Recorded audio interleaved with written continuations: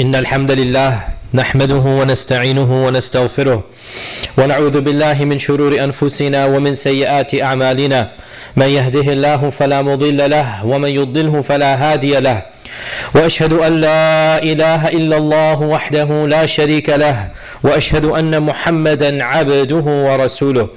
يا أيها الذين آمنوا اتقوا الله حق تقاته ولا تموتن إلا وأنتم مسلمون. يا أيها الناس اتقوا ربكم الذي خلقكم من نفس واحدة وخلق منها زوجها وبث منهما رجالا كثيرا ونساء واتقوا الله الذي تساءلون به والأرحام إن الله كان عليكم رقيبا.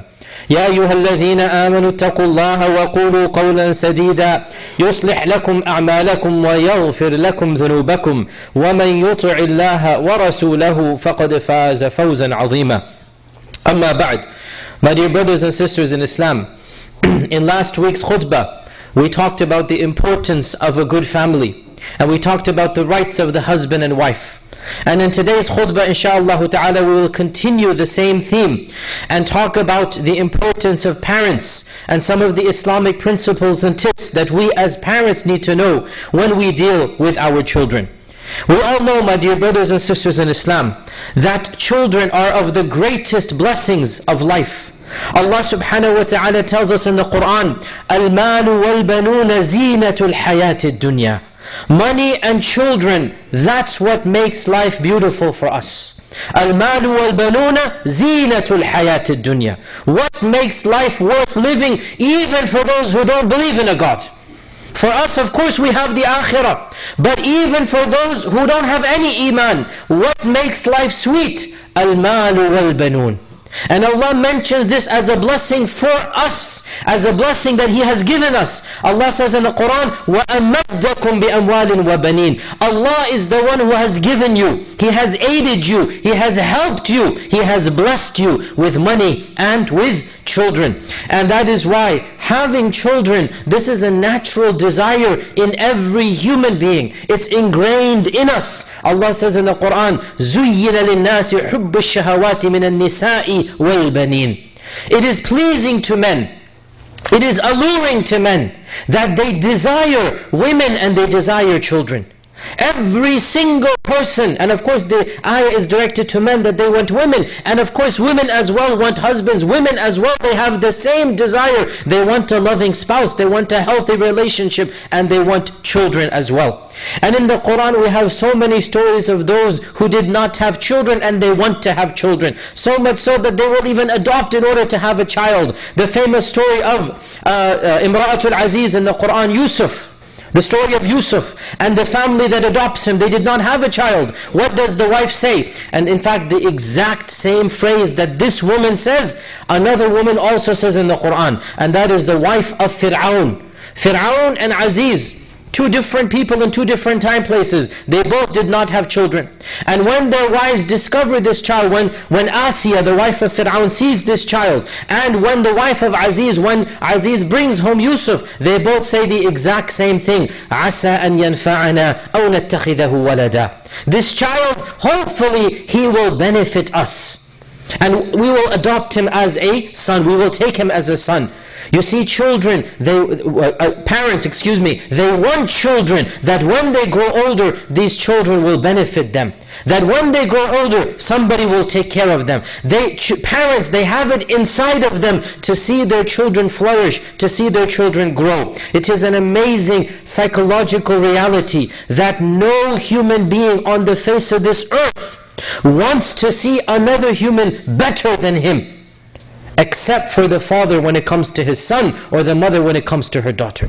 You don't want to see your cousin richer than you or your uncle smarter than you, even if you accept it grudgingly, but you don't you're not happy to see another person richer than you. You're not supportive to see another person with a better job than you. You will accept it as a reality of life. Okay, so there are people that are above, there are people that are below. But the only time that you will feel happy that someone is better than you is your own son or daughter. You will genuinely feel proud. That's my boy, that's my daughter. He's done this, he's done that. No jealousy at all. 100% support.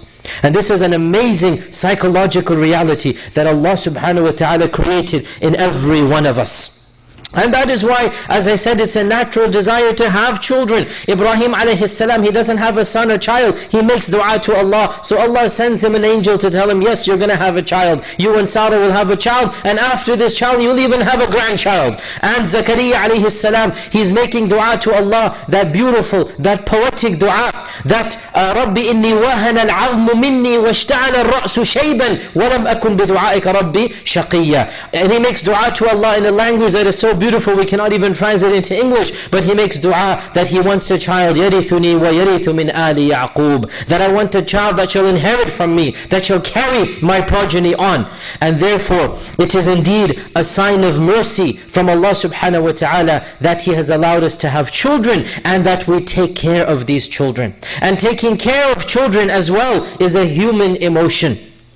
It transcends religion and culture. Muslim and kafir, we all love our children. The famous story of the Bedouin who came to the Prophet ﷺ and he saw the Prophet ﷺ kissing Hassan and Hussein, playing with them, throwing them up in the air. And this is his grandson. This is his grandson. Eh, can you imagine what he would have done with his own children? We don't have any stories of how he raised Fatima and, and Umm Kulthum when they were babies because this was pre-Islam. But we have stories of Hassan and Hussein that he would kiss them and he would play with them and he would allow them to come on his back when he was in sajda, the most, uh, the most humbling and the most religious position. But when Hassan is on his back crawling, he allows Hassan to play, even if this is kind of interfering with salah. But that love that he has for his grandson, it allows him to uh, remain in sajda longer so that Hassan is not harmed when he stands up. So he's playing with his grandchildren and he kisses them. And this Bedouin, he is amazed, he is astonished. And he says, do you kiss your children? Because in their culture, it was considered unmanly to show this love. It was considered a sign of weakness to show love to your children. Do you kiss your child like this? By Allah, I have ten children, and I've never once kissed one of them. He's trying to boast that he is so manly, he's so macho, that he has never kissed any of his children.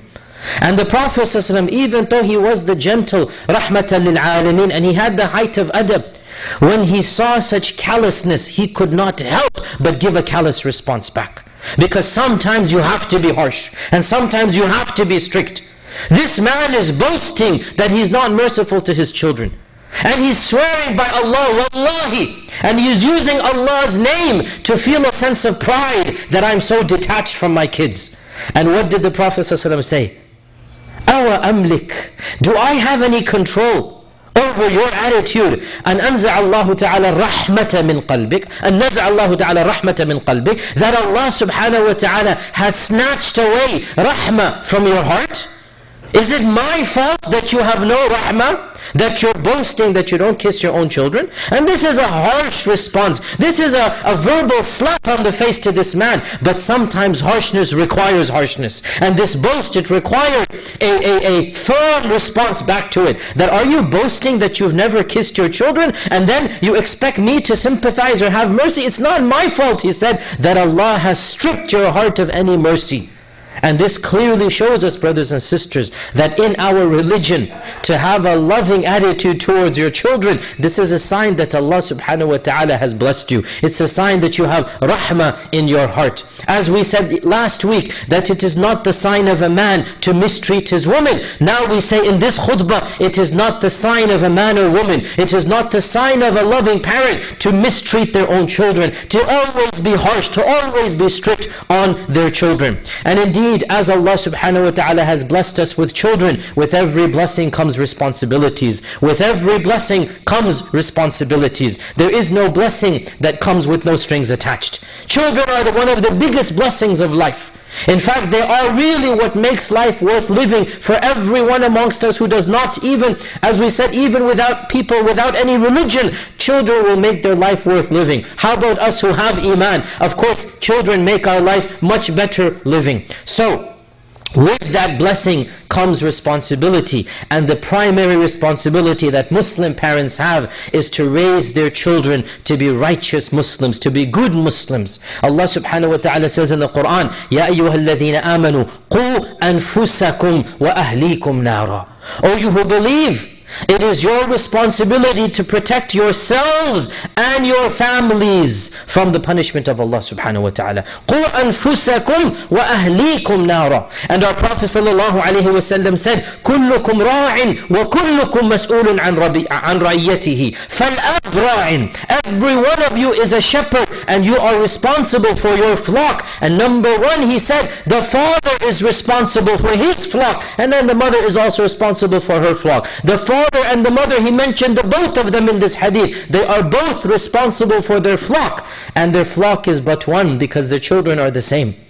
Both mother and father are responsible for the same flock. They're responsible for the same set of sheep if you like. And both of them will be asked by Allah subhanahu wa ta'ala about how they dealt with their uh, flock, with their responsibility. And therefore in today's short khutbah, I wanted to remind myself and some of you of some practical advice about tarbiyah, about raising children. And today's khutbah is primarily directed at the parents. Like last khutbah was directed at the spouses. And there still remains another khutbah that should be directed at the youth. That is a separate topic and a separate uh, list, if you like, and a separate methodology to talk to them. That's a separate issue. Today's khutbah, the emphasis is on the parents. Those who are parents, pay heed. Those who are not yet parents, pay extra heed. Because every one of us, Allah subhanahu wa ta'ala, blesses and tests and tries through the issue of children.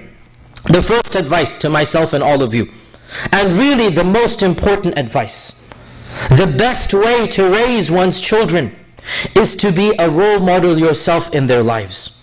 If you yourself are not of good character, there is no way that your children will have a good character after you. And this is the ultimate reality. Brothers and sisters, wallahi, the media is to blame a lot. Television is to blame a lot. Internet is to blame a lot. Society is to blame a lot. But the number one blame for a disrupted family, the number one blame for a broken family is the parents themselves. This is the number one blame. And so before any of us, and I speak to myself before I speak to any of you, before any of us is ready to point our finger anywhere else, be prepared to take a solid look in the mirror. Because the number one guilty partner in any broken family, in any broken relationship, is the person you're looking at in the mirror.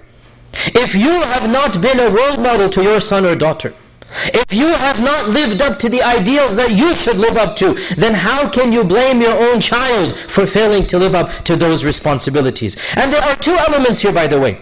When it comes to being a role model, there are two elements here. There's a worldly element and there's a religious element. There's a dini and there's a dunyawi. There's a psychological and there's also a spiritual. When it comes to psychological, when it comes to the, the, the worldly element, there's a simple common sense here. كَمَا تَدِينُ تُدَانُ As you do, it shall be done unto you. It's not a coincidence, brothers and sisters. There are thousands of surveys done. It's not a coincidence that children who grow up with parents who are smoking are much more predisposed predisposed to smoking. Is that children who grow up in abusive households, abusive relationships, when the husband is beating the wife, that these children will also beat their spouses when they grow up. It's not something that takes rocket science. As you do in your family, your children will do when they grow up. This is the reality. This is the, the fact of science, of psychology, and it doesn't take rocket science. And the fact of the matter, and I go back to last week's khutbah, husbands, if you're mis uh, mistreating your wife, if you're abusing your wife, are you going to blame your son when he grows up and he also then starts abusing his wife? If all you do is scream and shout at your wife, ask yourself, do you want your daughter to have a husband like you? Ask yourself this, do you want your daughter to be treated the way you treat your own wife, the mother of your daughter? So relationships begin in the house. Relationships begin with oneself. As you do unto others, your child will learn to do unto others. And this is, wallahi, the fact that scientists, psychologists, everyone can tell you. And it doesn't take a genius to figure this out. So the first way to have good children is to be a good man or a good woman yourself. The first way to have children that are polite, children that are respectful, is to be polite and respectful in your own life to others. And I have seen with my own eyes, brothers and sisters, and I am now of middle age. I have grown up here. I'm of that generation that is of the first generation to immigrant parents here in America. And I have seen plenty of horror stories and plenty of good stories of the children of my generation that are now uh, young adults, that are now reaching their maturities and primes. I have seen with my own eyes, brothers and sisters, that every time a husband and wife, a couple, had good Islamic values in their life, the child eventually returns to Islam. Eventually, yes, I have seen sometimes children go away especially in the teenagers, especially in the young 20s. But if the husband and wife raise them with an atmosphere of love, with an atmosphere of Islam, then when the child comes of age, when the child becomes 25 or 30, becomes a, a married adult, automatically they revert back to the only memory they have of living like a family, and that's the memory of their parents.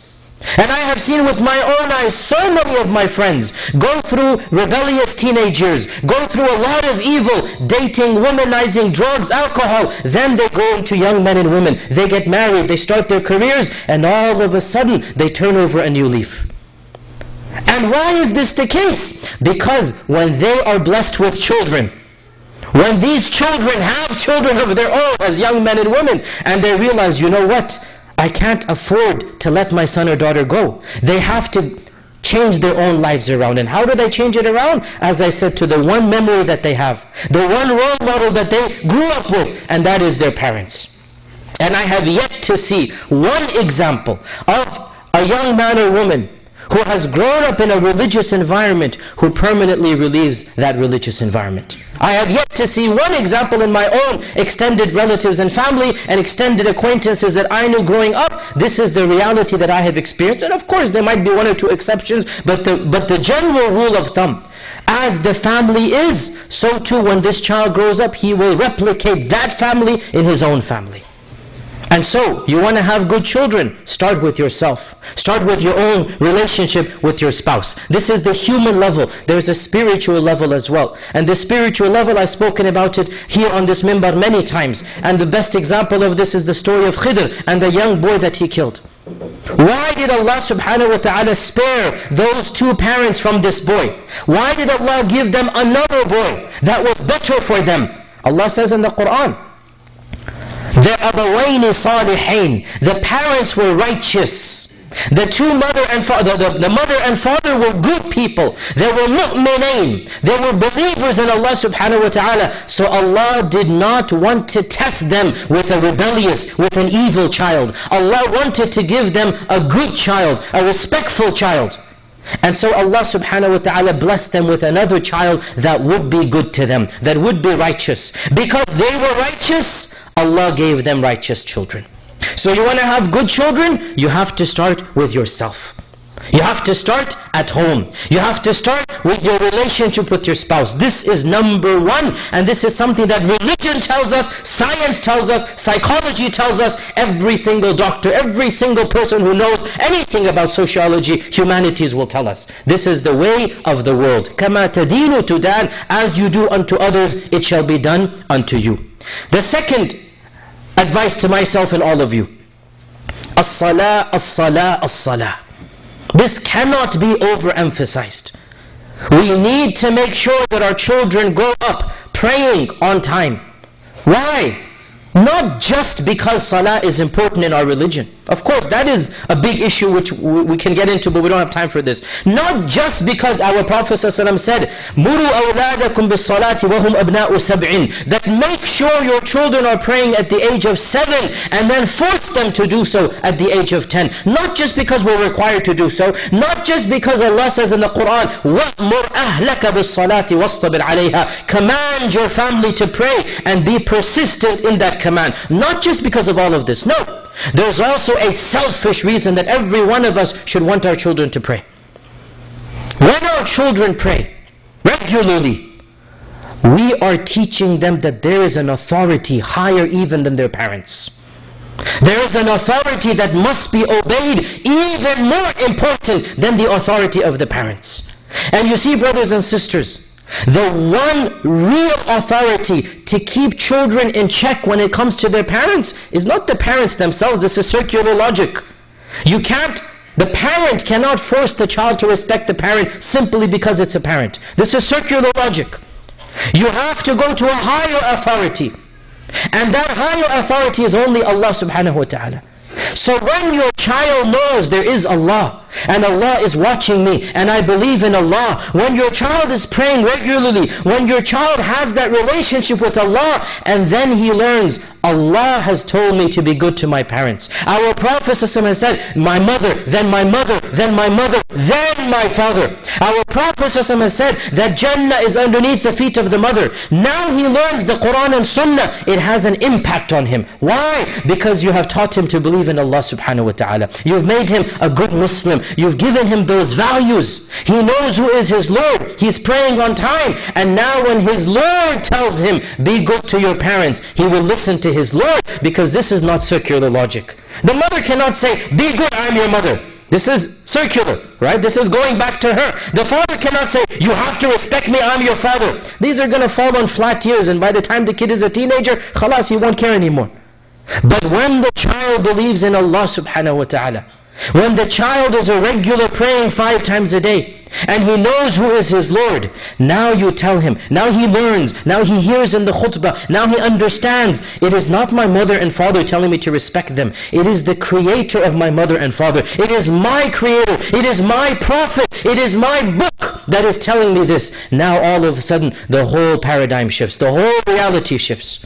And therefore brothers and sisters, salah is of the utmost important element to make sure that your children are respectful, are good. And of course, there's a whole other uh, set of issues with salah in terms of routine, in terms of punctuality, in terms of responsibility, in terms of habits. All of this we can talk about in a different khutbah. But the person who prays regularly, all types of blessings open up, including the blessings of having good children. And this again goes back to my first point. If you're not praying five times a day, how do you expect your child to be praying five times a day? If you're not living the life of the Muslim, Muslim, how do you expect your child to do this as well? And realize in the advice of Luqman alayhi salam, that famous advice of Luqman, which is the most comprehensive passage in the Quran about parent and child relations and parent and child advice, and perhaps in one khutbah, that's another khutbah to be done, the advice of Luqman. What does Luqman say to his son?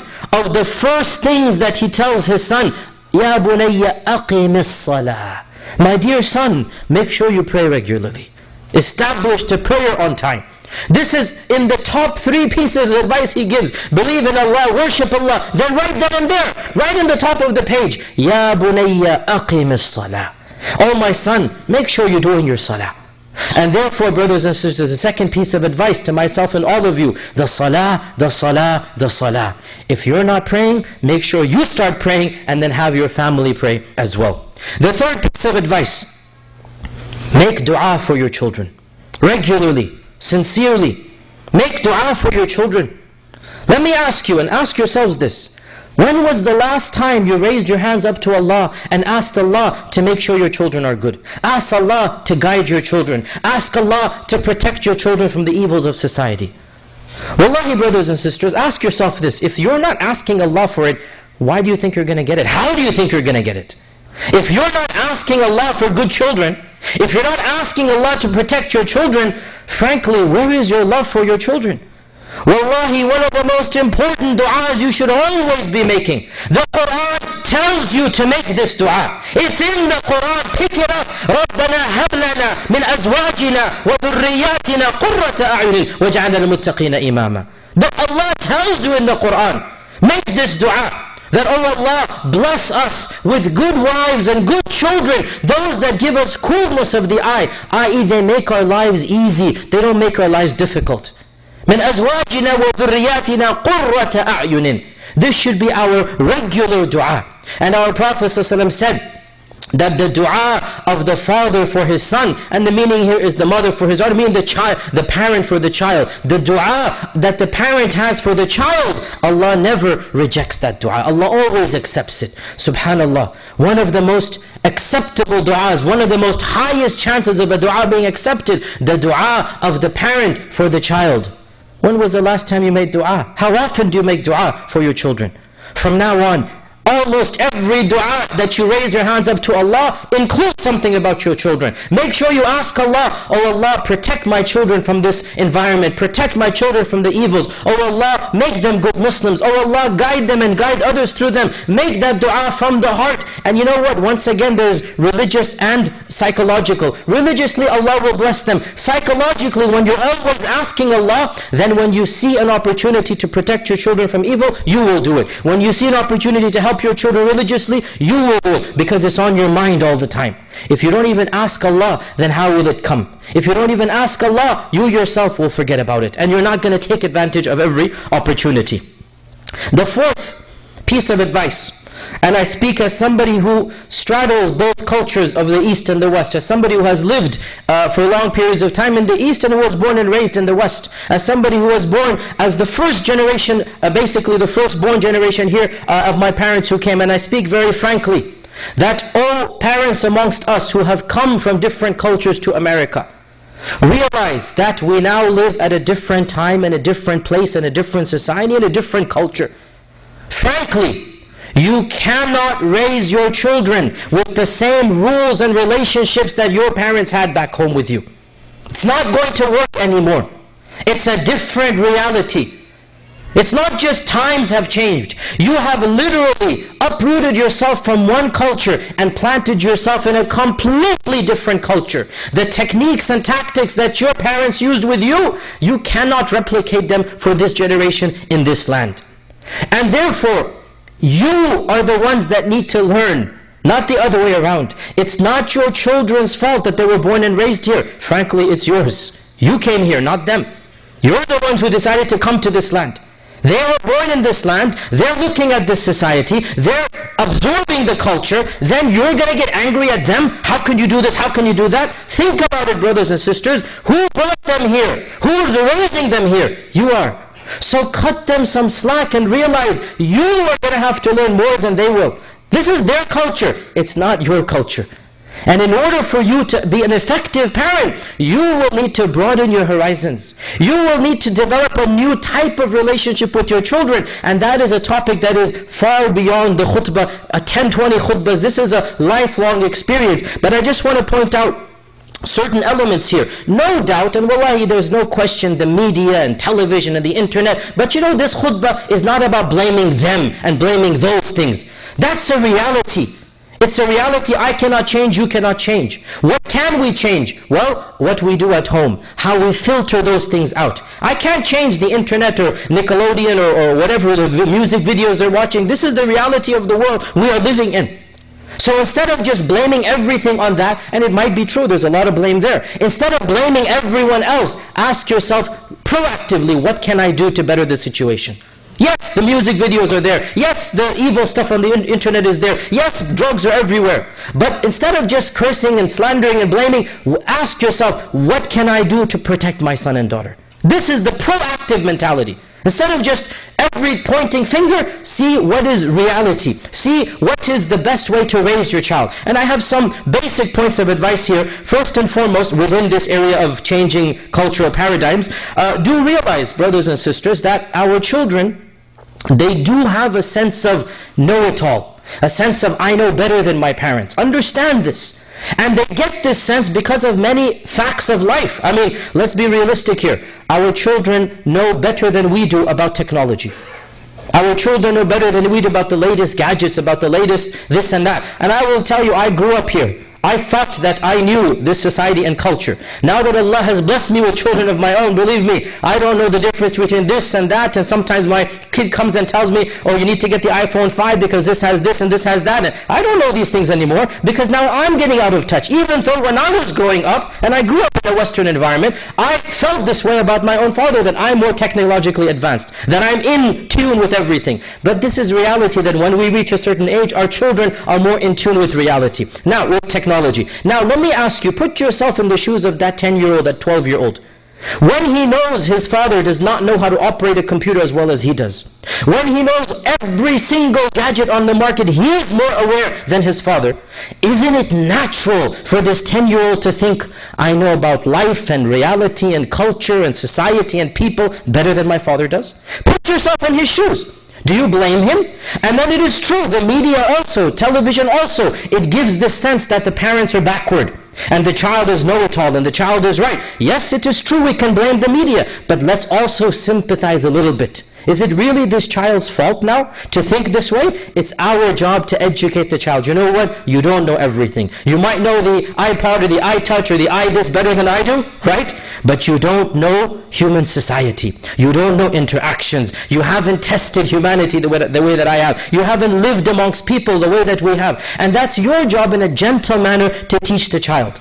And one of the best ways to do this, brothers and sisters, and this is very difficult for those amongst us who have been raised in a different society and culture. We need to learn, there's a common expression in America here, that parents have to be friends with their kids. You know, perhaps that's not going to happen, let's be also realistic. But, let me tell you one thing frankly. Perhaps you're not going to be friends with your kids, but you will have to learn to have conversations with them that are beyond just rebuking or ordering or commanding. You're going to have to learn to talk to them and not at them. Look and now, examine your own life. When you talk to your children, what is it about? Is it always, do this, don't do that, how could you have done this? If this is your whole relationship with your son or daughter, frankly, you're setting yourself up for failure. When's the last time you actually had a conversation that was not rebuking, not commanding, not derisive, not sarcastic? Yes, they deserve a little bit of harshness once in a while, but if that's the only thing you can show them, what do you think their attitude will be of you? Especially when they grow older, especially when they hit the teenage years, especially when they get their car and they get their first taste of freedom. I agree, perhaps in our culture you can't be a friend to the child, okay, but you must be friendly with them. You must have some positive relationship that is above and beyond just rebuking and, and, and, and, and, and, and always getting angry at them. Have a conversation. What's happening? What's going on? What did you learn in school? Take them out, spend some quality time with them. And this is one of the biggest differences maybe between the, the, the, previous culture or the previous generation and our generation. That perhaps for many of us, our fathers didn't really go out and play soccer and basketball with us with our friends. Perhaps. And you know, I'm not criticizing that. Maybe that works back there. I don't know. But over here in this land, over here where we are, you have to have some type of friendly relationship with your own son or daughter. Let me put it this way. Let me be really frank here. If your son or daughter does not feel comfortable coming to you for a problem that they're facing, because of a mistake they might have done, then wallahi this is a very big problem. If your son or daughter has committed a mistake, and let's be honest, they're all going to commit mistakes because that's a part of growing up. Did you not also commit some mistakes when you were teenagers? Let's be honest here, right? If your son or daughter commits a mistake and then they don't want to come to you for help to clear that mistake up, well then honestly, how are you being a good parent there? You need to have the doors of communication open. If your son or daughter is going through a standard problem of the teenage years, when they reach 13, 14, hormones are going to kick in. They're going to want to be interested in somebody of the opposite gender. They're surrounded by drugs. Pornography is everywhere. If you're not going to open up the channels of communication, if your son or daughter feels awkward coming to you, well then they're going to go to another teenager. They, they're going to go to the internet. They're going to go to somewhere else for help. No doubt, maybe our parents could never have spoken to us about these issues. But I am telling you, as somebody who straddles both generations, we need to be frank with our children. We need to tell them about things and Honestly, they probably know these things before you mention them. But the very fact that you open up the topic, the very fact you take your 13-year-old son and you tell him about uh, the, the problems of internet pornography, the problems of, believe me, every 13-year-old knows about pornography. Believe me, every single teenager knows about this. If you're not going to open up the door, if you're going to be so taboo, oh, I can't do this, well then, how do you expect him to come for help to you? If something happens that he needs some help about. There has to be open channel of communication. Mothers, talk to your daughters about the realities of this world. Talk to your daughters about basic biological facts. Let them know that, listen, if you need any help, I'm here for you. Just give a generic statement like this. If you need anything, come to me first. I will help you out. Just generic statements like this so that they know that their parents are there to help them in case they need that help. Few more, few more points. Now, point number six in our list here the Quran tells us وابتلوا اليتامى حتى إذا بلغوا النكاح فإن آنستم منهم رشدا فادفعوا إليهم أموالهم uh, to, to basically summarize the Quran is saying test your children with responsibilities test the orphans in this case that are being raised in the family give them responsibility and see how intelligent they are so a part and parcel of raising children is to stop treating them like kids when they're no longer kids as our children grow up to become young men and women, and when do they become young men and women? According to Islamic Sharia, when they hit puberty. And what that means at the age of 13, 14, 15 max, but usually 13, 14, Islamically speaking, these young children are now fully grown adults according to the Sharia, which means they are legally responsible for their sins, for their, for their personal lives, for their salah, for their relationships. When they hit puberty, they are young men and women according to the Sharia. And I have said this many times before, one of the biggest complaints that I have about modern culture is this period of adolescence, of teenage years, where children are treated like children even though intellectually, biologically they're adults. Personally, I don't believe in this. You start treating a 13-year-old like a young man or woman because they are, are at this stage a young man or woman. You give them responsibilities. Now obviously not all at once. You test them bit by bit. As the Quran says, وَبَتَلُ الْيَتَامَى and uh, the verse is about an orphan, when, when do you return the money? But again, it applies to our own children. Give them responsibility. And our scholars of fiqh explain this and they say, so you give some money to the child and you say, uh, when he's in the marketplace, go buy this. And then see, does he buy the right item or not? And then you increase that responsibility. This is a part of our culture. You cannot pamper your kids until they're 18 years old. It's not going to work that way.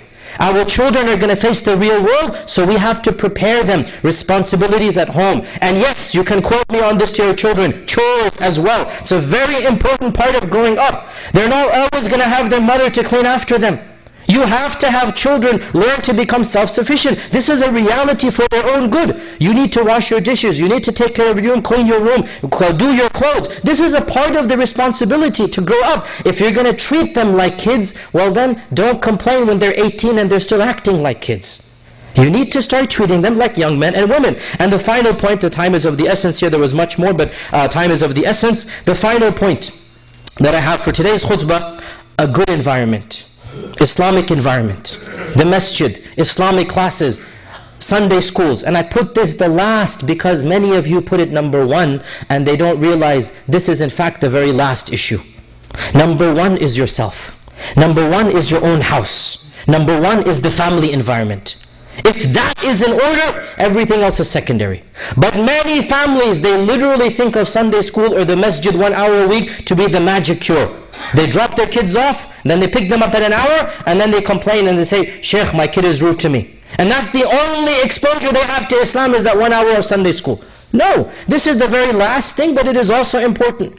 Come regularly to the masjid. Let them see what is Islam. Let them see the Muslims. Let them interact with other Muslim children. And that's why here we are very eager about not just building a masjid. We want to build a family center. We want to build a place where our youth, they are pushing us to come and go. They're interested to come to chill out, to play basketball, to just socialize, because we want them to be in this environment. Islam is not just about the salah, it's about living your life. And that's what we want over here as well. So, yes, it is important, but I put this right at the end of the list because the most important is at the home. The most important is you and your wife. Then everything else is secondary. But outside of the house, what can you do? No doubt, outside of the house, the most important thing is to have a good environment for your children, to make sure that their friends are also uh, Muslim children, that you go to the masjid as frequently as possible, and realize, brothers and sisters, a khutbah or two is not going to solve the problem. It is a change in my lifestyle and your lifestyle. And the final point of the first khutbah, realize that, subhanAllah, there is no magic cure. There is no solution solution to all of this. Even if you follow all of these guidelines, it is indeed possible that Allah tests people with calamities and difficulties. Look at the Prophet Nuh alayhi salam and his son and what happened with his son. And Nuh alayhi salam is a prophet. And Nuh did all of these things and much more than these things. But Allah chose to test him in a certain manner. So, do realize that there is no magic cure. It's a learning process, it's an ongoing process, and we do what we can with dua to Allah, with help from Allah subhanahu wa ta'ala, with our own akhlaq and manners, and we put our trust in Allah subhanahu wa ta'ala. Barakallahu wa lakum fil al-Azim, wa nafa'ani wa iyakum bima fihim al-ayati wa dhikr al-hakim, aqulu ma tasma'un, wa astaghfirullah al-azim Ali. wa lakum, wa lisa'il muslimin kullu dhanbin fastaghfiruhu, innahu huwa al-ghafur al-rahim.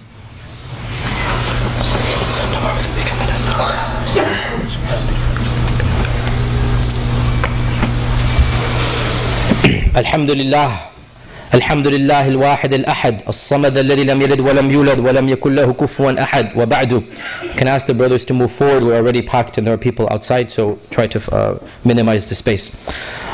Brothers and sisters, the rewards of raising a good family, a righteous family, are too many to mention. And the losses for not doing so are also too great. I conclude this khutbah by simply reminding us of one ayah that talks about the blessings and one ayah that talks about the opposite of that. As for the blessings, Allah subhanahu wa ta'ala says وَالَّذِينَ آمَنُوا وَاتَّبَعَتْهُمْ ذُرِّيَّتُهُمْ بِإِيمَانٍ أَلْحَقْنَا بِهِمْ ذُرِّيَّتَهُمْ وَمَا أَلَتْنَاهُمْ مِنْ عَمَلِهِمْ مِنْ شَيْءٍ Those people who believed, Allah says, وَالَّذِينَ آمَنُوا And their children after them, they followed them in that belief we shall join those children with their parents up in Jannah. And Ibn Kathir comments and other scholars comment and they say, what this means is that if the parents lived a good life and they tried to have their children follow in that life, then even if the children didn't reach that high standard, Allah subhanahu wa ta'ala will bless them and upgrade them to be with their parents as they were like one family in this dunya. They shall be like that family in the akhirah. And what a beautiful blessing that is. What a beautiful blessing that is. That Allah subhanahu wa ta'ala will bless parents through their children and children through their parents. That if one or two of them was insufficient, was weak, then Allah will overlook that because of the family. This is what the ayah is saying. That if the general family, they were upon a righteous mentality, they were good people, one or two they fall short, alhaqna bihim. We'll raise them up, we'll bring them back to the whole family. As they were in this life, they shall be in the next life. What a beautiful blessing is that. And what is the opposite of this? If you don't live up to this, Allah says in the Quran, that ala innal khasirin alladhina khasiru anfusahum wa ahlihim yawm al-Qiyama. ala dhalika huwa al-khusran al-mubin what is the worst loser who is the worst loser Allah says the worst loser is the one who's lost himself and his family on yawm al-Qiyama. khasiru anfusahum wa ahlihim Neither did they benefit themselves nor did they benefit their families because they had this materialistic, nihilistic, completely dunyawi lifestyle, not caring about Allah and His Messenger, not having anything of Islam. They might have enjoyed this life, but then in the akhirah they lost themselves, they lost their families, they lost everything. ذَلِكَ هُوَ الْخُسْرَانُ الْمُبِينَ That is the ultimate loss. May Allah subhanahu wa ta'ala protect us from ever facing that loss. Allahumma inni da'in fa'amminu. Fi hadha al-yawmi dhanban illa ghafarta, wa la hamman illa farrajta, wa la daynan illa qadayta, wa la maridan illa shafayta.